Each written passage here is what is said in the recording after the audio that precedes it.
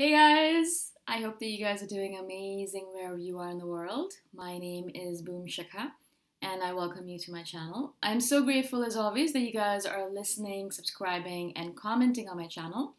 I appreciate the support. If you guys are interested in supporting me on Patreon, my Patreon link is below as well. I'd love any kind of support all the way from $1 a month to $20 a month, whatever you guys prefer.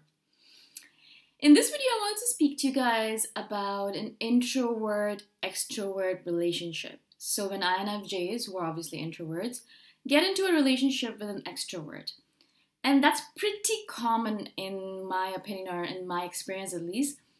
All of the relationships, especially significant other relationships, like friendships, obviously, I have introverted friends, a few of them, but mostly I end up with ENFPs or ENTPs as friends and ENFP and ENTPs as relationships. So mostly I'm hanging out with extroverted people around me. I guess it's because I, I, get, I feel balanced around them. If I'm around an introverted person, I have to be the one who brings more energy to the situation. Around an extroverted person, they're doing all the talking, they're doing all the work, they're doing all of that stuff, which means I can relax a little bit. But this is kind of the thing that I want to talk to you guys about the imbalance that happens between an introvert and an extrovert, which can actually be really stressful and strenuous for the extroverted person. We always look at it from the perspective of an introverted person. We're like, oh, poor introvert has to deal with the extrovert and he has to or she has to hang out with them and put all the energy into it and they always have to be up because the extroverted person has so much energy, etc., etc. But yesterday I was talking to an extroverted friend of mine, and she's dating introvert, a major introvert. And she was talking about how difficult it can be on her end as well. And it really opened up my eyes because I never actually really thought of it from their perspective. And she was talking about the fact that, yes, I mean, it's great being with an introvert and, you know, balances things out.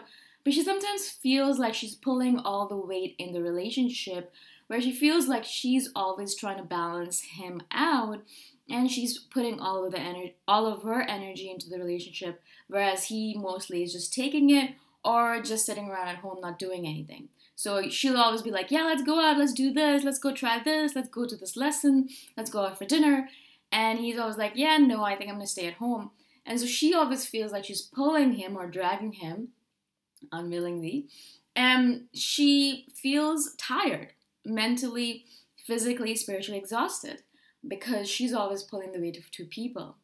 Now, I'm not saying that this is typical in all extrovert introvert relationships, but obviously there's always going to be a little bit of an imbalance. One person's always going to have more energy and they're always going to give more to the relationship and they're always going to pull the other person person more than the other person, right?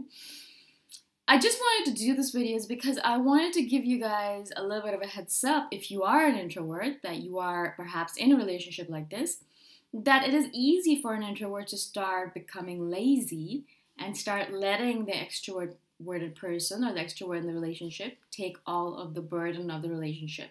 So they're the ones who are always making the plans. They're the ones who are always telling you, let's go here, let's go there. They're the ones who are always making new friends. They're the ones who are planning all the trips. They're the ones who are doing major majority of the work in the relationship in that manner. Maybe it's more tangible because you can see it. Perhaps the introverted person is doing a lot of intangible work. But the extroverted person needs you to step up. It's not going to be, the relationship is not going to last for that long if you don't step up. If you don't realize that perhaps you are maybe pulling too much from the relationship and perhaps it is your responsibility to give back as well. And also to be there for the extroverted person as they need you to be there for them, right? The extroverted person usually realizes that the introvert needs their space, time, and you know to be alone, so they give them that time. But you also have to realize that an extroverted person needs to be exuberant and, and cheerful and outgoing and all that, and you need to give that to them as well. Now, if you're in a relationship, a lot of times extroverted people complain to me that they're always the ones going out and partying and doing all that stuff, and the introverted friend or relationship is always at home. And when you're in a relationship, a lot of times you want to do these things with your significant other. Yeah, you know, it's alright for you to go party once in a while by yourself or go out for dinner with friends once in a while by yourself. But a lot of times you prefer, if you're in a relationship and you like the person, that you want the person there with you. You know, you want to explore all of these ideas, all these places, not by yourself, but with this individual that you've decided is your partner in life, um, whatever your relationship might be, and you want to go with them. You don't want to just go by yourself. Once or twice, obviously, it's fine, but I could feel the pain in this person's voice. She's an extrovert, and she was saying that she is tired. You know, she wants a little bit of a balance in the relationship. She wants the introverted man, her husband, to contribute a little bit more and to be to step up a little bit more. And I wanted to obviously do this video in order to tell all the introverts out there that yeah, you do need a lot of time, space alone, obviously. This is one of the main characteristics of an introvert. But if you are interested in maintaining and even expanding your relationship with this extroverted person that you're with, then it is your responsibility to give a little bit more than you are giving right now. Right? Now, of course, you might be like, oh man, it already is so tiring being in a relationship, blah, blah, blah. Then maybe don't be in a relationship. If you cannot give your due, if you cannot step up and be there for the extroverted person as they need you to be, because it's not just about you getting your needs met, but it's about also the other person getting their needs met and just because opposite to your needs doesn't mean that they should never get them met, right? They leave you alone and they let you stay at home by yourself hour after hour, day after day. So it is your responsibility to come out of that, you know, out of that solitude phase and go out with them once in a while and spend time with them, being exuberant, being cheerful, being outgoing, because that's what they need. They need their partner to do that sometimes? And I know as an INFJ we have this thing that oh I'm already I'm already giving a lot in the relationship, and I know I had these these thoughts as well. I'm like I'm already giving, I'm already cooking for the person, and I'm already caring about them in a subtle way. I'm already thinking about them all the time. But extroverted people, a lot of times they need a little bit more tangibility in the way you show your affection to them, right? It's all right if you um, if you cook for them and all that stuff. Yeah, that's pretty tangible.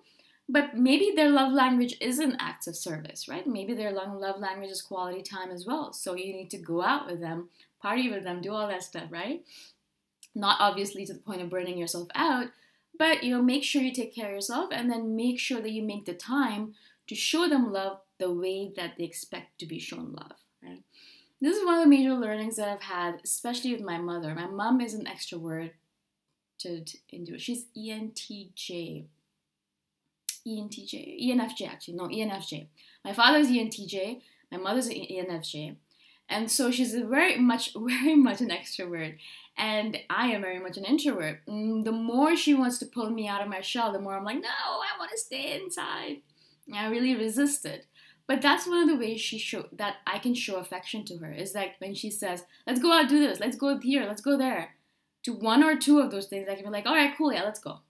So a couple of times a week when I am at home, I'll be like, yeah, let's go to Costco. Let's go roam around. Or let's go for a walk by the harbor front. Or let's go roam around downtown. You know, even if it's something that I'm like, oh God, this sounds like a pain in the ass.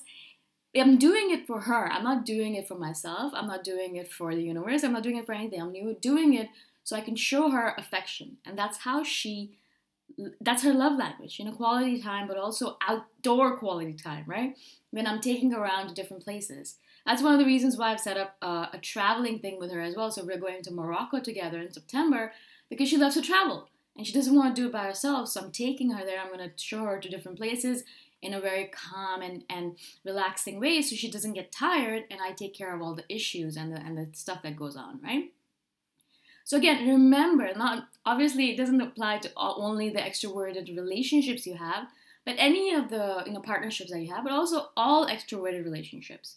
I've noticed that I have a lot, as I said, a lot of extroverted people around me, a lot of extroverted friends. All of them are ENFPs, ENTPs, and they need a lot of time together outdoors doing things. And so I'm really trying, and I schedule time once a week with them or something like that. I'll go out and we'll be outdoors in the restaurant and they'll be like having fun. And that's how I show to them that, yeah, I love you because I'm spending my time with you. And they understand that because they understand how hard it is for me to go out, right?